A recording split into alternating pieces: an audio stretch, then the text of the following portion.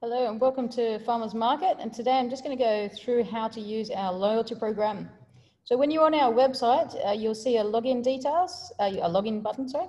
You click on that login button and you can use your details to log in. If you don't have a password, just let us know. Uh, we can send you a password reset. If you place an order with us, it'll um, it'll have all your orders that you've placed, placed in the past, uh, or you can create an account um, the first time you place an order.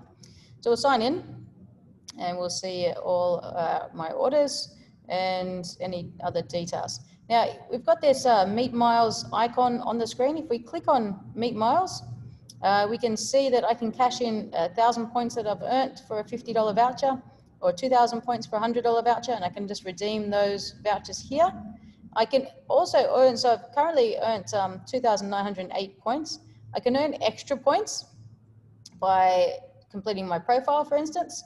So I can complete my profile and just enter my date of birth and um, female and I'll hit save and that'll give me an extra 20 points uh, as you can see on my um, Meat Miles. So now I've got 2,928 points. I can also, also earn extra points by sharing this on Facebook. I can follow our Instagram page. I can like us on Facebook. I can refer a friend, which is quite a good one because you get 100 points every time someone new orders from your link. So referring a friend is quite good. So you can copy this link to your, to your dashboard or you can share it by these methods.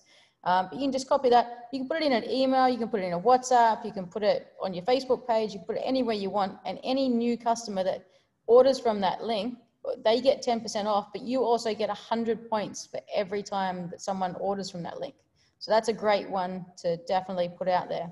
And you basically get free points you earn points without doing anything, just for referring friends. Um, so that's the reward system. If you've got any questions, just drop us a, an email at info at farmersmarket.com.sg uh, if you want to know anything else. Uh, otherwise, happy shopping and uh, I hope you'll enjoy it. Cheers. Have a good week. Bye.